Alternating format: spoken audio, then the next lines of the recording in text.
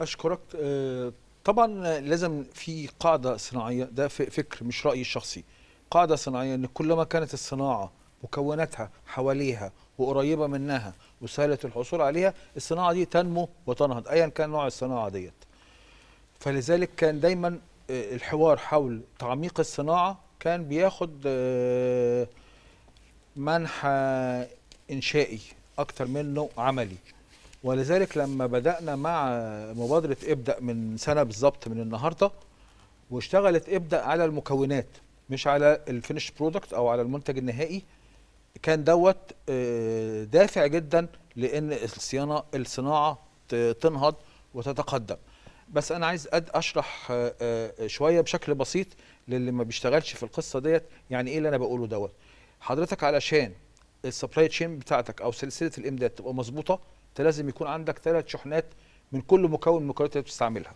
واحدة في المصنع بتشتغل بتشتغل بيها واحدة في البحر وواحده عند المورد الثلاثه دول مدفوع ثمنهم الثلاثه دول مدفوع ثمنهم عند المورد اللي هي الصين أكبر مورد للعالم كله. فإذا إحنا ثلاث شحنات مدفوع ثمنهم هناك والدورة ديت بتاخد من ثلاث لست شهور. مع بقى آه، ارتفاعات في آه، أسعار الشحن ثم رجوعها مرة أخرى ثم إن إحنا جالنا فترة مثلا ما كناش لاقيين أصلا كناتر فاضية في العالم. كان في ثقب أسود كده في العالم بيبتلع كل الكناتر الفاضيه مش لاقيين أصلا يعني رضينا بإن ال container بياخد حوالي 14000 دولار ومش لاقيين ال container الفاضي بقى اللي نعبيه. لكن لما بتكون المكون دوت قريب مني يعني أنا مثلا في العاشر من في العاشر من رمضان ودوت في العاشر من رمضان أو في أكتوبر أو في السادات أو أو الأخر حكاية يوم أو ساعات وبيكون المكون عندي. وأنا اشتغلت شخصيا آه، في في في مبيعات آه، آه، صناعات مغذية بتاعت شركتي. أنا اشتغلت يعني نوكن دور سيلز كده. أنت بتاخد بقى اللي أنت محتاجه أسبوع بأسبوع أو شهر بشهر وكمان تدفع آجل وكمان تدفع بالمصري. تاخد بال حضرتك الفرق بين إنك أنت تصنع المكونات الإنتاجية بتاعتك في البلد وتستورد المواد الخام مش عيب. إحنا مصر دولة غير غنية بالمواد الخام. إحنا ما عندناش ولا حديد ولا نحاس ولا كل كل الكلام ده كل ده مش عيب. اليابان كده وأسوأ مننا على فكرة وهي الدولة الصناعية الأولى في العالم. والصين برضو نفس الشيء. اليابان ايفن ما عندهاش بترول ولا غاز. فده مش عيب إن إحنا ما يكونش عندنا مواد خام. لكن النقطة إدارة بقى هذا هذا هذا الموضوع.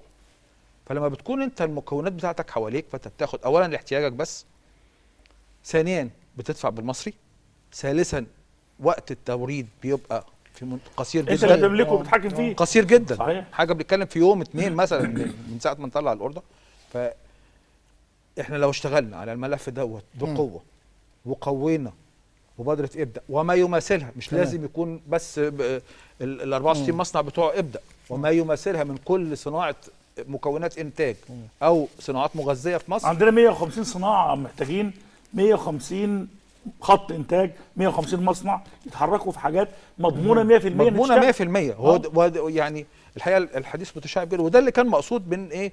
مش محتاجين. دراسات جدوى يا جماعة. حك- حكاية ده محسومة. إحنا مش معنى دارسينها وحاسبينها أصلا. يعني أنا أنا عن نفسي وصلتني الرسالة إن مش دراسة الجدوى اللي خطيئة. خطيئة. لكن أنا مصر بتستورد مثلا 100 طن من المادة الفلانية دي. أنا لو عملت مصنع بيعمل 60 طن فأنا عندي زبوني جاهز. هي أصعب 100%. أصعب حاجة إيه؟ كلنا بنجري وراها. تسويق. ال sales البيع والتحصيل. إذا كان أنا عندي زبون جاهز لا في مصر كمان يا باشمهندس ومتعطش. باشمهندس لا كمان في نقطة مش عايزين ننساها. هو هو فكرة ابدا أو الشركة بتاعت ابدا أو ال- الصناعات اللي, اللي حصلت 150 صناعة الرئيس قال بشكل واضح جدا يا جماعة انتبهوا إحنا محتاجين الصناعات دي في حياة كريمة. حياة كريمة ده مشروع يعني- الدولة اللي يكلف يعني- يجي تريليون جنيه هاخد منك ده مضمون آه 100% مضمون إنه آه، المنتج بتاعك هيتاخد. مشكلتك في السيلز الأولانية اتحلت. ده ده ده اللي كان مقصود. فمبدئيا نعم. قصة إن تصنيع يكون محلي ده موضوع مهم. تمام. حتة الدعوة للحوار الوطني أنا عايز أعلق عليها. ده أول حوار وطني يحصل في مصر من عشرات وإن كانش مئات السنين. أول حوار وطني. دعوة السيد الرئيس للحوار الوطني بتفق مع الدكتور خالد يعني ألف في المية. دعوة السيد الرئيس للحوار أنا شفتها إن ده رغبة رياضة سياسية قوية جدا في إنه يسمع الأصوات الأخرى ويسمع الجميع. تمام. وكانت الدعوة أن الجميع يجلس على مائدة واحدة متساوي الرؤوس يقولوا آرائهم بحرية وبدون آه، قلق. ثم ينتهوا إلى ورقة اثنين ثلاثة ترفع إلى صانع القرار. نعم. فيأخذ قراره بأريحية أن هو سمع كل الناس وفي النهاية هو إيه؟ بيتحمل آه، مسؤوليته. عايز أعلق حتة واحدة بس على بس تحرير بسرعة. سعر الصرف. ماشي. سعر تحرير سعر الصرف دايما آه، يعني مش عايز أقول الإعلام بس كل الناس بتشوف بس فيه التأثير على الأسعار. وهذا تأثير قوي جدا. وعايز أذكر إن من ضمن حزمه الإجراءات اللي طلبها صندوق النقد هو الحماية اجتماعي الاجتماعية. ال 300 جنيه إجراء جيد جدا ولكنه غير كافي. لابد من زيادة إجراءات الحماية الاجتماعية. تأثير سعر تأثير معلش- بيحسن العجز. معلش بس مش بيقلل العجز. باشمهندس معلش.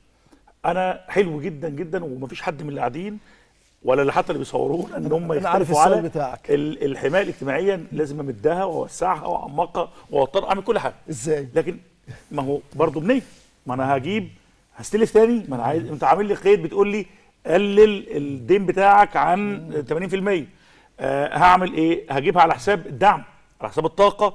ما هو وانت خد بالك المشكلة في زي بيتنا زي بيوتنا كده. أنا عندي إيراد معين وعندي نفقات متعددة. أنا عندي حلم عايز أعلم الناس كويس. وعايز أكلهم كويس وعايز أخلي مفيش واحد محتاج. لكن أنا منين؟ برضو يعني أنا موافقك وأنت في الحوار الوطني. بقول لحضرتك إيه؟ آه، آه، قرارك أو آه، طلبك إنه أزود ومش كفاية وأنا عارف إنه مش كفاية. كل الناس عارفين مش كفاية. والرئيس عارف إنه مش كفاية. ورئيس الحكومة عارف إنه مش كفاية. والرئيس قال اللي أقل من 10000 جنيه مش عايش. هو قال. طب منين؟ قول لي أنا موافق. ولا حاجة أنا يا- ريت يكون الرئيس إحنا عايزين نلتزم وتقول لنا 2000 منين إحنا 2700 نجيب؟ هل كلنا 2000 وراه؟ ال 2700 جنيه اللي كانوا بيصر حد أدنى للأجور قبل كده أهوت كانوا كام دولار ونلتزم بيهم.